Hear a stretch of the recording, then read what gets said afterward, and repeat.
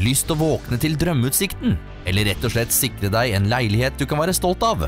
Da har vi nå en nydelig mulighet på Nordlandet, nærmere bestemt i Nergata 16. Her selges det nå en stor selveierleilighet med parkeringsplass i lukket garasjeanlegg, egen båtplass, veranda og ikke minst nydelig utsikt. Her er det to flotte stuer, og her finner vi en lekker peisovn, plass til flere møbelgrupper og nydelig utsikt fra de store vinduene.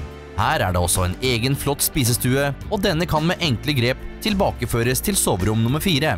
Det lekre kjøkkenet har flislagt gulv med varmekabler, integrerte kvalitetshvitevarer fra Huskverna og Mile, samt en flott benkeplate i granitt.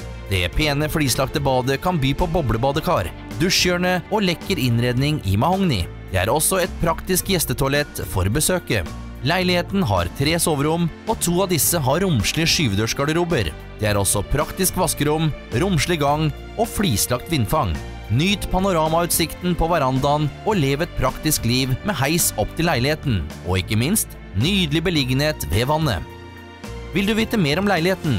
Ta kontakt med Espen Bugge Larsen på 981 65 000 eller espen alfakrøll viseiendom.no.